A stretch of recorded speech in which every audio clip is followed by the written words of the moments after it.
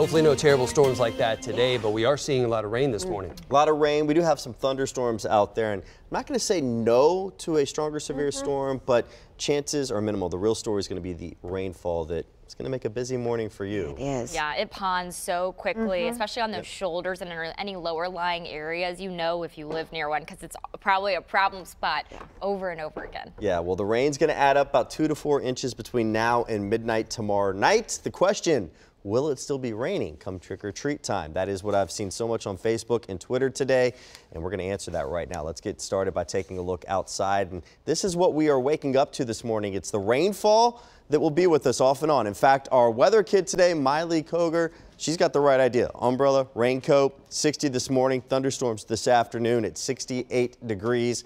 Definitely want to be like Miley, and if you want your kid to be a weather kid, it's simply weather kids at newschannel5.com. A lot of rainfall across the eastern tier of the U.S. right now. It's going to take a while to get all of this to move through. We've got snow on the backside of this.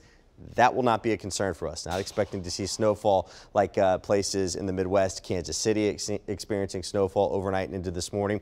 We're just dealing with the steady rain and the occasional uh, lightning strike too. 50s out there despite the rain. 68 in McMinnville, holding at 64 in Crossville. A few more strikes now. Southern parts of Sumner County, as you can see, just north of uh, Old Hickory there. Unfortunately, we'll continue off and on with some of these thunderstorms. The Charlotte Park area and West Nashville and Bordeaux seeing steady rainfall. Starting to see a little bit of a break in the Franklin area and parts of Brentwood. Not everybody seeing it, but about uh, 20 minutes ago, this was completely covered in green and yellow. And now we've got a little bit of a break overhead, which is certainly a, a welcome sight for the morning commute. Unfortunately, more rain will move in shortly. Here's exact track. Temperatures today mild. Frontal boundary stalled out today. It's going to sweep through tonight. As it does, the wind flow becomes northwesterly. Tomorrow morning, around 50 to start. We're not climbing. We're dropping with temperatures. But despite the colder air moving in, it looks to be just cloudy, maybe a little mist in some spots, but no heavy rain come trick or treat time.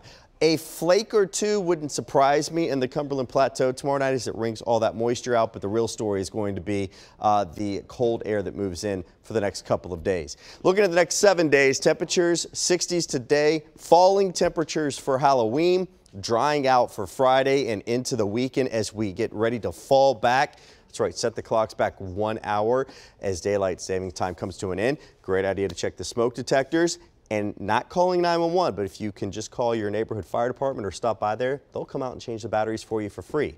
Better to be safe than sorry when it comes to those smoke detectors. Hey, let's find out what the rain's doing on the roadways. Rebecca's got the latest now in the traffic center. All right, Henry, thank you. Fall back's the one that everyone likes, right? Because we get an extra hour. This is the good one. Okay, something to look forward to because this morning may be a little rough. Take a look at what it looks like. Live drive on the road showing us really nasty, wet, messy conditions on the downtown loop for us this morning. Blake Rosnowski behind the wheel saying she's just seeing more congestion than this time of the morning on a normal morning as everyone is slowing down and trying to drive a lot more carefully. So leave a few minutes early today. Help yourself out. We've got this spin around crash uh, over in the left shoulder coming down I-65 southbound from the north side of town. This is right before the I-24 merge point. So be aware of that if you come in, say, from Madison, Goodlettsville, Rivergate, anywhere further north of that. East Bank, frozen right now, but still seeing a little bit of congestion. Our other crash near Shelby Avenue, though, thankfully, has cleared. The traffic report brought to you by Clayton Homes. Now let's head back to the desk. Three men are behind bars this morning after police say they used DNA analysis to place them at the scene. We have details on that ahead at 6. She's a successful musician and actress. Now Reba McEntire is taking her talents to a podcast. We'll tell you coming up when they'll launch it. Right, here are your top stories this morning. Southern California is under an extreme red flag warning with Santa Ana winds expected to top 80 miles an hour. Officials are concerned about embers from the smoldering Getty fire sparking additional fires. Investigators say the blaze ignited when a tree branch fell on power lines. The White House is slamming a House resolution to formalize the impeachment inquiry, calling the probe a, quote, illegitimate sham. The full House vote is planned for tomorrow. This follows damaging firsthand testimony from Alexander Vindman, who listened to President Trump's call with the president of Ukraine last July. The World Series is heading into Game 7 tonight in Houston. The Washington Nationals tied up the series with a win in Game 6, staying alive for a shot at their first World Series title. If the Astros clinch, it will be their second championship in three years. A local musician and Belmont alum is working to help others through music and through his own recovery from brain surgery, a stroke, blindness, and chronic pain. Luke Putney is working to give others hopes through his nonprofit Instrumental Horizons, which donates musical instruments to socioeconomically and medically challenged communities. He's looking to help those in South Africa by writing and recording a song called Cape Town with the help of five-time Grammy winner uh, Victor Wooten and other musician friends. He finished up the song. I wanted to be Luke's right-hand man, you know, to get what he wanted. And he succeeded. well, you had already succeeded with the song. It was easy with the song and the and the people he, you know, he got together to play on. And how could you fail? Man, what a great story. To get a copy of the song Cape Town, all you have to do is to donate to Luke's nonprofit, and we have details on how you can do that at our website right now, newschannel5.com. And she's been in the music business for decades and she's had a hit TV show. And yesterday, Reba McEntire announced her new podcast that's going to premiere next year. The superstars teaming up with Spotify to launch the project. So far, we know confirmed guests include Kevin Bacon, Bill Simmons, and the country group Midland. We're told this podcast will be exclusive to Spotify listeners. Reba says she's excited to connect with fans like never before. 555 right now. If you are about to head out on the roads, unfortunately, this is what it's going to look like from the dashboard. You can see Live Drive got, has those windshield wipers going pretty heavily this morning. Make sure even once the sun comes up, you've got your headlights on. When your wipers are on, your headlights must also be on. That's the law, just so everyone can see you with lower visibility in rainy situations like this. Wet roads, give yourself some extra time. Still watching the spin around crash left shoulder 65 southbound. If you're coming in about to get to that I-24 merge before the Trinity Hills area. Actually now, look, we've got someone out there helping out, blocking the left lane, so everyone's merging over to use those right lanes instead. The traffic report brought to you by Serra Chevrolet Buick GMC. Now let's head over to Henry. All right, Rebecca, this morning it is a soggy start as you just showed from Live Drive and uh, Blake out there. Unfortunately, it's going to be the case for much of the day with some of these showers heavy at times. Even some winds about 30 to 40 miles per hour that are starting to move through parts of Dickson County with a few of these storms. Not severe, but uh, just keep in mind we've got some gusty winds to go along with the heavy downpours. 68 today, 49 at 7 o'clock tomorrow morning. And as we go through the day tomorrow, yes, we will dry out by trick or treat time, but no, it will not be warm. Look at these numbers from 49 at 8, 43 at 4, and 41 by 6. Falling temperatures heading into the weekend will be in the 50s for highs and 30s for lows. More on the soggy forecast in the next hour of News Channel 5 this morning, Amy. College athletes could soon start getting financial help while they work hard in school and play sports. Ahead at 6, we're going to tell you what steps the NCAA is taking in this process.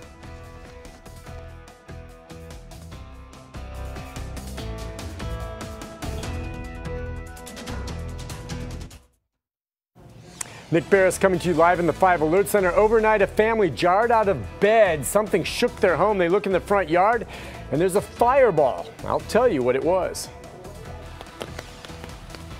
Plus, Tennessee has been graded by our students' math and reading scores. I'll let you know what those results were coming up. And a nonprofit that helps people fix and rebuild homes in low income areas has a new project in the works. We'll tell you where it is straight ahead.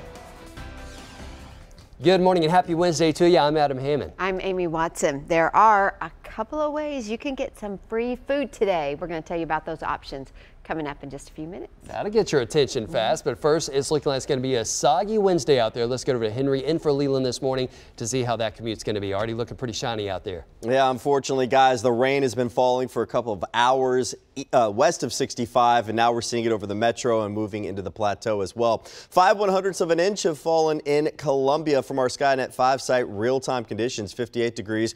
We're now at 22 hundredths and Franklin along I-65. 55 our temperature. And Lawrenceburg seeing the rain now 7 one hundredths of an inch, 63 the temperature. Looking at the big picture, a lot of rainfall to get through that's going to take about two days for that to happen. We are seeing a few uh, lightning strikes now with some of these showers that are becoming uh, some very isolated thunderstorms up now in Sumner County. We've got some pretty strong uh, wind gusts, about 30 to 40 miles per hour with our storms that are moving through Dickson County right now, but we're talking about uh, 30 to 40 mile per hour winds, so it should remain below severe criteria. Between now and midnight tomorrow, yeah, we're going to add about uh, two inches of rain in many locations, courtesy of this steady, steady downpour. 68 are high today with storms. And then tonight, 53. But we'll talk about a backwards forecast for Halloween coming up shortly. Right now, let's check in with Rebecca and see what the rain is doing on the area roads. Definitely more congestion than we're used to seeing this early in the morning. Here's a look from our sky cam. This is I-40 as you're coming in from the east side. So these are our westbound lanes coming into the downtown loop area. Blake Rosnowski in Live Drive was just passing through this area. She said she saw someone with flashers on pulled over in the right shoulder. So just be careful. You may see a lot of that today.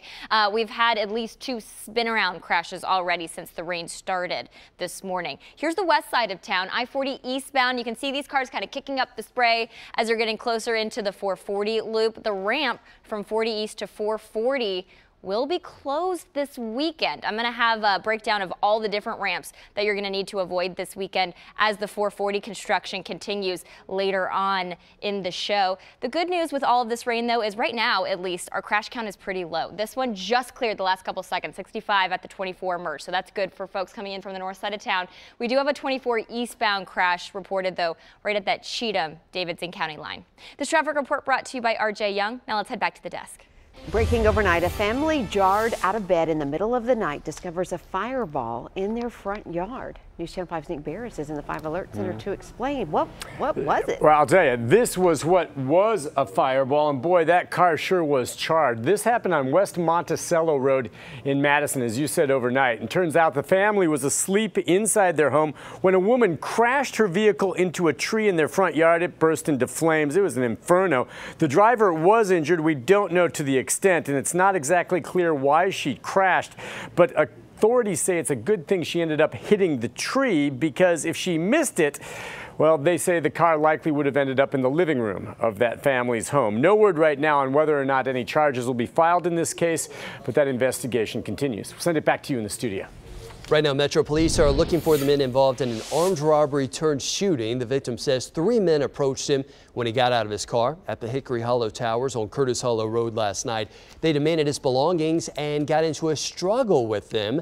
That's when he was shot. Call Crime Stoppers if you can help police find these men. And these three men are now in custody connected to a murder two years ago. Curtis Word, Kevin Hogg. Kevin Hoggett, rather, and Larry Bedingfield are all indicted for the robbery and murder of Moral Edwards. Edwards was shot and killed at his Ackland Park Drive apartment in July of 2017. Metro Police say DNA analysis led to the arrest. And another three men are due in court today accused of beating a homeless man to death earlier this year. Police say Briston Reed, Christopher Lawless, and Austin Peralta repeatedly punched and kicked Nicholas Christian. It happened on 2nd Avenue North and Commerce Street back in June. The 30 year old later died from the head injuries he received in that fight. A January trial is now scheduled for the retired middle school assistant principal accused of crossing state lines to have sex with children. Thomas Monty is in custody in Virginia after getting caught in an FBI sting operation earlier this month. His jury trial begins on January 13th. Continuing coverage this morning of a deadly crash involving a former Montgomery County teacher and her husband. Our traffic expert Rebecca Schleicher joins us now with the latest on an arrest in that case, Rebecca. Amy Fu and Kay Subawang died in that crash on Highway 79 last month. An arrest warrant says Miguel Ruiz Matias here looked drunk at the time of the crash and took off when a trooper went to call a translator. While police caught up with him. The Leaf Chronicle reports they took him to the hospital, but he was released and then disappeared. Now, after about a month, he is officially back in custody after police in Indiana caught up with him over the weekend. Good work to them. New information now this morning. We're learning over the last decade. Casey Freeman read through the national report card. And Casey, what's the overall message about student achievement in the mid-states? Well, Amy, in Tennessee, they saw virtually no change um, as a result of these test scores. Now, every two years, students in the fourth and eighth grades will be taking tests to to determine their knowledge of reading and math. Now, the state saw dramatic growth in 2011 and 2013, but hasn't seen that trend continue since then. Now, since the last survey was taken two years ago, fourth grade math shows plenty of growth, but that's after recovering from a decline in 2015. Reading has increased, but it still wasn't by that much. And while these scores are showing improvement, it's not making up for the years of backsliding. Now, what's so disheartening is only 30 to 40% of Tennessee students on track for future grade levels, college, and career success. Now, Amy Adam, coming up in the next half hour, this study did show how each demographic is doing in the state, and I'll let you know what that had to show. For now, live at Tennessee Department of Education, I'm Casey Freeman, News Channel 5. Thank you, Casey. Tennessee is one of 15 states where the number of kids without insurance jumped. The Georgetown University Center for Children and Families based its study on the data from 2016 through 2018. Experts are concerned this 400,000 child increase is happening during economic growth with more adults working. Nashville is on the rise, and one group is reaching out to help people who aren't able to rebuild their homes. Mo Hyder live in Nashville this morning, where a nonprofit is focusing its efforts right now. What's going on this, Mo? Yeah, hey there, Adam. Yeah, this nonprofit is called Rebuilding Nashville Together, and what they do is they fix and rebuild homes in low-income areas, and their next project is going to be in the Bordeaux community. Now, this is some video that we shot from last year. Check it out over here. It shows that it shows volunteers were helping a woman in North Nashville get a new roof, something that would have cost her $15,000 if she had to pay from her own pocket. They want to help more people like her, so today they're announcing a two-year plan to rebuild homes, but this time, as I mentioned in Bordeaux, Rebuilding Nashville Together helps people struggling to pay for housing maintenance when their home starts to decline, particularly in those low income areas. They do this all free of charge. Homeowners can apply for this process on their organization's website. I'm actually going to have a link to that on my Twitter page. That Twitter handle is at mhyder underscore NC5. Be sure to give that a look this morning. In downtown Nashville, I'm Hyder News Channel 5. All right, as you just saw there from Mo, at least he's finding a way to stay dry because the showers are here and you've got a steady rainfall out there. Let's take a look at Power of 5 radars and we've got it on the wider picture for you, but uh, man, we've got some heavy rain, even some winds between 30 to 40 miles per hour as you get over towards uh, these showers that are moving through parts of Dickson County as well this morning. Uh, right along I-40, even going through only, you've got that steady rainfall that continues across the Mid-South. As far as the movement with this goes, most of it is to the east at about uh, 30 miles per hour. So to give you an idea of when these heavier cells might move in, well, taking you about a half hour out. It'll be in uh, the Pegram area around 635 and Kingfield uh, around 639. Here's exact track. We put this into motion for you. The showers make it a bit of a break for the afternoon rush, but it will pick up once again as we head towards this afternoon and into the evening hours. Tomorrow morning, as the cold front pushes through northerly winds, takes the showers out of here in time for trick-or-treating. Clouds will linger can't rule out a little bit of mist for some, but the real story will be the heavy rain will be out of here. Hey, if you were hoping to walk the pup today, make sure you've got the rain gear to do so. Uh, we've basically got uh, red paws all the way through. 7 a.m. We'll probably go on and update that to a, a, red paw. Temperatures in the 60s for much of the day and the occasional thunderstorm as well. Want to say good morning to all the students at Heritage Elementary School in White House. You are our Wednesday school of the day. Hope you all remember the rain gear as you head off to school. Let's send it down to the newsroom now with our own Nick Beres. All right, thank you, Henry. Live in the 5 Alert Center at this hour, police in Long Beach, California investigating a mass shooting. Three dead, at least nine injured. The circumstances still unclear. I'll have the very latest when we come back. And a music star is turning the loss of his son into a way to help others. How Toby Mac wants Truett's memory to empower and encourage young people and how you can get involved. Plus, a signing for Nashville. Let's see why you won't see this player on the pitch when the Major League Soccer team debuts next year.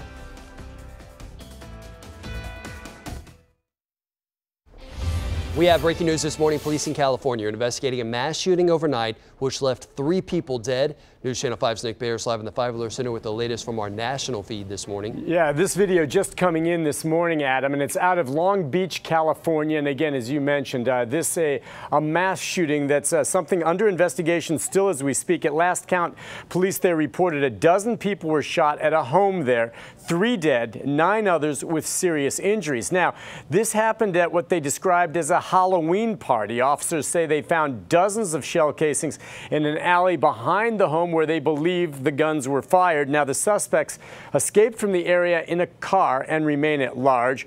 Police are looking into the possible connection between the shooters and the victims, but right now, no word on identities on either side of that. And motive does remain a mystery. Continues to be looked into this morning. We'll have updates later in the day.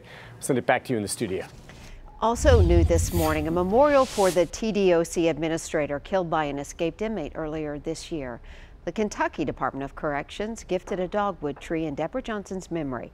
Her family and coworkers planted it at the Tennessee Prison for Women, which is where Johnson started her career.